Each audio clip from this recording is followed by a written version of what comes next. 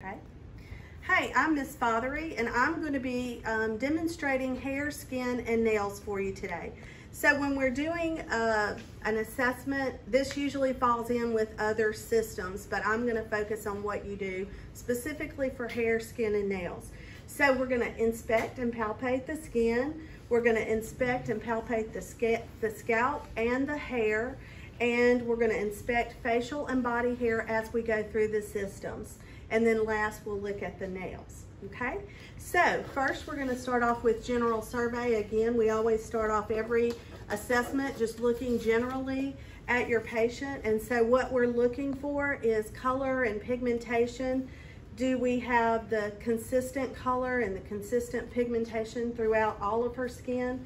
By the way, we're using um, a hospital gown and she has on clothes, but for the examination of the skin, a perfect time to do it would be like when you're given a bed bath and we have our patient uncovered, or when you're listening to the chest, you can also be looking at the skin. So, but for video purposes, she's gonna have her clothes on and I'll just demonstrate. Um, also, we look for any odors. Um, so this patient as well has good hygiene. and um, we're gonna do the top to bottom. So we'll start with her scalp and sometimes I'll use the end of a long Q-tip just to separate the hair. And so you'll inspect and palpate the scalp. Um, we're gonna section off, I'm gonna remove your ponytail if you don't mm -hmm. mind. We're gonna section off little sections here and we're just looking at the scalp. What I'm looking for is um, any intact skin. We hope everything's intact. If we have any lesions or anything like that, we're also looking for nits um, for lice. I hope you don't have any lice today that I find. Um, we're also gonna be looking for um, the texture of the skin itself. She's got a really great texture. It's um, well cleaned, it's moist, it's um, not dry. So that shows us that she's well hydrated. Um, so we'll look all over in every section. Okay, and then I'm not gonna put your hair back up for you. Okay, then we're gonna fine. move down from the head to the neck area. I am gonna look at the face. Um, what I'm looking for here is hair distribution on her eyebrows and her eyelashes. They look good. Um, looking for color changes. I don't see anything. She's got a small pigmentation right here. I would note that in my documentation. Um, you can kind of estimate or you can use a millimeter um, ruler. This one looks about four to five millimeters, just a darker pigmentation. I would call that uh, macule. Macule means flat, papule means um, raised, so you have to know those descriptive terms for your documentation. Then we're gonna move down the neck area. She's got another little area here. This is a papule, reddish in color, about three to four millimeters. You would note that in your documentation, and you would just work your way down. Now on the back, she's got a few freckles, and I would turn her um, can you turn around for me? I'm just gonna get you to turn towards the camera. There you go. So I would have her undress from here and I would look over all the areas of her back.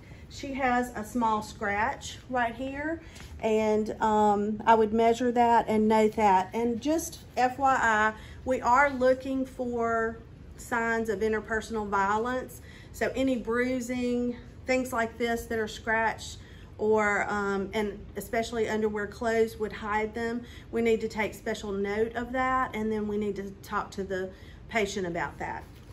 Okay, but everything else looks good. She's got a normal distribution of freckles. You can turn around.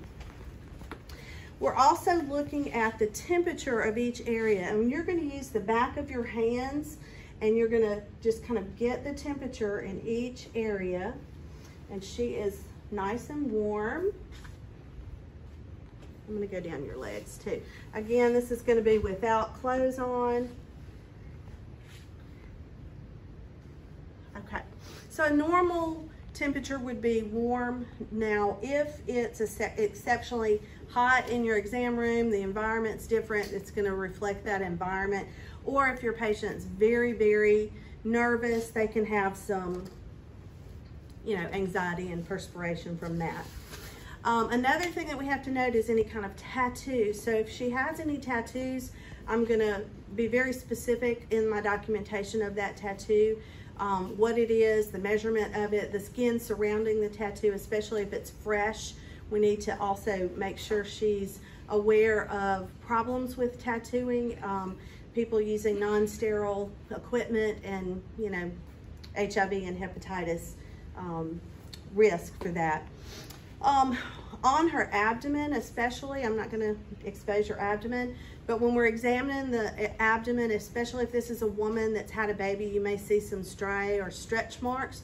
Um, this is also common in adolescents when they have a really fast growth, um, rapid growth. They will have sometimes some stretch marks around their breast area or around their hips where they've had this sudden weight gain. So you can mark that.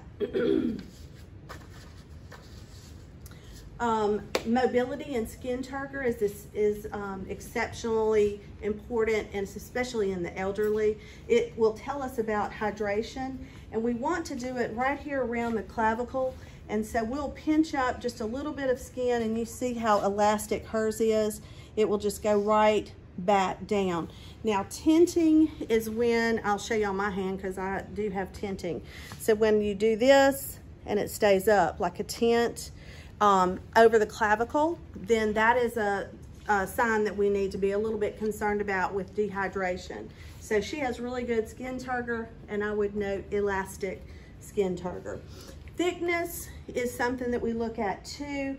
It, it goes along with aging. And so the skin gets a little thinner after 30 and continuing on until the elderly years. Skin gets really, really thin. Now, let me see your hands. It's normal for the skin to be a little thicker on the hands and the bottoms of, of the feet. And if this was a really hard worker, manual labor, you might notice calluses on the fingers and that's kind of a normal sign. Okay.